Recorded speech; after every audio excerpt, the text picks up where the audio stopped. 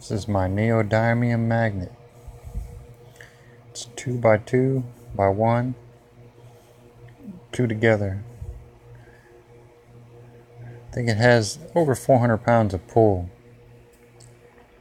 Now, these things can be dangerous.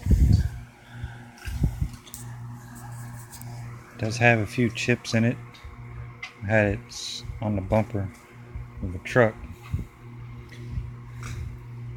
and it does have some chips. It's very fragile.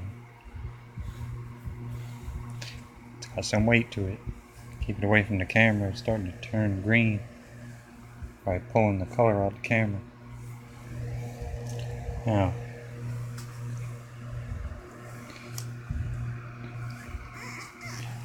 you can see how much it's sunk the wrench into my hand.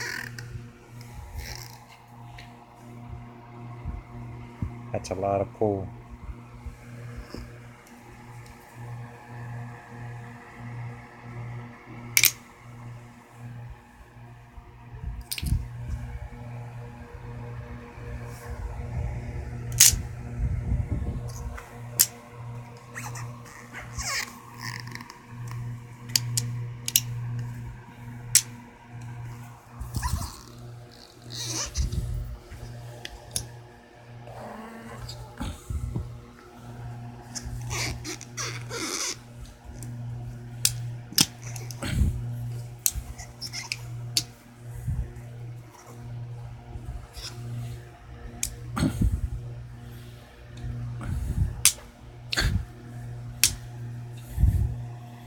Okay.